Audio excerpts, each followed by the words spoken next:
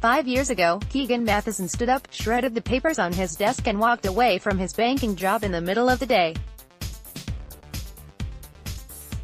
He didn't know where he was going. But, as he talked to his father on the phone, his feet took him down to the Halifax waterfront where he spent the next couple of hours nursing a few Keith's and listening to a busker pull Bob Dylan out of his guitar. I sat there and calmed down and kept convincing myself that it would be okay, he says. There's always the worry that you've made the wrong decision, but at the same time it was exciting because that was the moment where things really shifted for me. And I knew that, for better or for worse, it was the start of something. By the time his last pint glass went dry, Matheson had decided to become a baseball writer. A throwback to his younger days, when Matheson and his grandfather went to see the Blue Jays play in Toronto. Submitted by Keegan Matheson, covering the Jays at 28, he's on the Blue Jays beat. When his team's playing, Matheson can expect to wake up to at least one request for a radio or TV hit.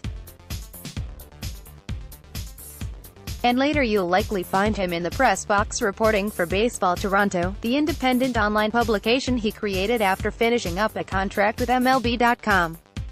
Hard work, talent, education and a degree of luck and privilege have seen him through the time since his office space moment, but there's something about Matheson's path that resonates for so many, the risk-taker who succeeds against the odds. It makes us dust off our own dreams and wonder, could we make this happen? Matheson has been fielding that question often in the last few weeks, thanks to a visit home to Nova Scotia this fall that took him back to the same place he'd contemplated his future at 23. Five year ago today, I stood up from my desk in the middle of the day at my bank job and walked out. Less than BR greater than less than BR greater than I walked to the water, sat in this exact spot, drank two Alexander Keith's, and decided to become a baseball writer less than a href equals https colon slash slash t dot co slash la 7 imc greater than pic dot twitter dot com slash la 7 imc less than a greater than I've had a lot of direct messages and people asking for advice, for advice about their own job. And my first reaction is, don't ask me for advice.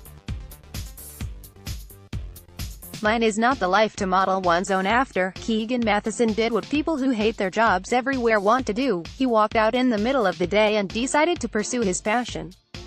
Submitted by Keegan Matheson, being young unkid and mortgage-free made it easier to take the risk, he says, and he took a second job while he established himself, blogging about baseball at dusk and at dawn while paying his bills through a landscaping gig. At home in New Glasgow, he found plenty of support for his decision, but few role models. By the time he moved to Toronto to pursue a sports writing diploma, he could support himself though his writing. Things have changed Matheson doesn't often let himself think about the fact that he's done what he wanted so much so that he's able to work for himself. One year into an online publication whose subscribers are in the high hundreds, it only really hits him when he's in place and can see it from a new vantage point, walking onto the field in Fenway Park for the first time, you're up in the press box or you're down on the field and you have a different view. It's moments like that where I look around and say, okay, things have changed, he says.